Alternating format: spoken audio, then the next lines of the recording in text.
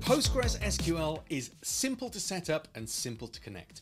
But let's see how we query that database directly from the code itself. Now again, just remember that we're building it in Python here, so we'll be looking at Python specific libraries, but this will work across any language as long as it supports Postgres.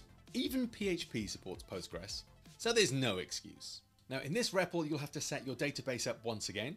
Make sure you set it up, make sure you turn it on, and then use your pinned commands to create the table and populate it with users before we start. Now we are going to use some of the environmental variables so we can bring in the connection to the database without having to hard code any of our information into the REPL itself. I'll start by looking at my secrets and you'll see there that all of the database information I could possibly need is there for the taking. But if I import OS to allow that to work, we can bring that in in a moment. We're also going to import the psycopg2 library, which is a common library in Python for connecting to Postgres servers, and allows us to do it in pretty much one line. Our first job is to connect to the server. Just like in most SQL based activities, we're going to create a variable called con for connection and make that equal to scicop g2.connect. And then in the brackets, all we need to do is give the database URL. Let's take that from our secrets. Finding the database URL in the access part, I'm going to copy this bit of code and simply paste it in the brackets. Running this just to check we don't get any connection errors and we're good means I have already directly from my code connected to that database. So let's start off very simply and create a simple command line program that will add users to a database. I'm going to put a line in to add a new user and then I'm going to ask the user for their username and their password probably don't want to show the password on the screen, so I'm going to import getPass and use that to show the password, which will hide that from the user's view.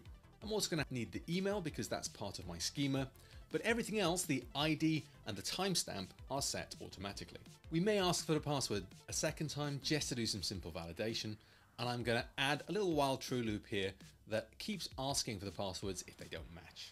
Now, on to the fun part. Let's use our connection to directly query the database and insert this user. So I need to create a cursor, which is Python's way of sending queries to the database. And then we can simply execute. And you'll see here that Ghostwriter's made a good stab of that. So I'll change username to name because that is the field name that I used in the table as you can see on the right hand side there. Now if you're wondering what the percent %s is, that's a placeholder for a string and it's really important that when you build queries, you pass the data variables into it like this. This keeps it more secure than simply using something like an f string to pull all the data in in one place and send a string directly to the database. By using this method, the variables username, email and password are substituted in that order with the percent %s symbols that we see. Now let's run this to see what happens.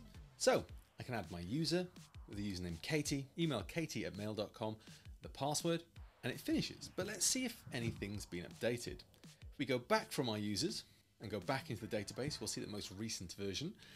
Ah, and it doesn't seem to have worked. Well, one thing to remember when changing any data using Cursor is that you do need to actually commit the command, tell it to go. So con.commit will actually say, yeah, do the data change, please. I'm also going to close my cursor because I finished using it. And let's try that again with the same user Go back and click on the table again, which performs the select query, and you'll see that we've added Katie. Notice as well that the ID number is one above where it should be. That's because we've tried to add a user and haven't actually committed the changes. So the index has increased. This doesn't matter, but it's worth pointing out that the query actually went to the server. We just didn't tell it to save it. So there we go. It's as simple as that to add data directly from the terminal. But you'll probably be wanting to work on something a bit more visual or a bit more exciting. Let's take a look at how we can convert that to something like Flask. I've already provided some Flask code in the README. Go grab that and paste that into the main.py. This is a very, very simple Flask program and it's simply loading a form template that's hidden in the folder templates and called crate.html. That's hidden away from you at the moment, but you can view it by clicking on the kebab menu on the Files tab and, and viewing hidden files, but it's not necessary for this. Using this code, we can now start working on Using this code, we can work on getting that to process. If you've not used Flask before, it's very, very straightforward. It's just Python with a web server built in. But one of the first things we need to do is deal with what happens when the user clicks sign up on the form. I've told the form that it's going to use the post method to send it to a URL forward slash create on my server. So we need to define an app route for dealing with the post method in slash create. We then need a uniquely named subroutine to run that code. And this is where you start. Because from this starting point, you're going to write the code, take the information from the form, and create a brand new user in your table completely automatically. When done, you should redirect the user to a page with a success message.